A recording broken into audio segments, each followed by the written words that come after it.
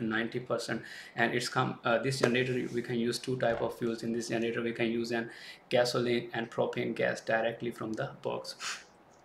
Uh, propane gas directly from the box. And what else we have in this generator? Okay uh, this champion power equipment generator is some kind of portable as well. So due to its rear uh, rear wheels uh, sometimes we want to have function outside and we can easily move it. We need a power supply and we can easily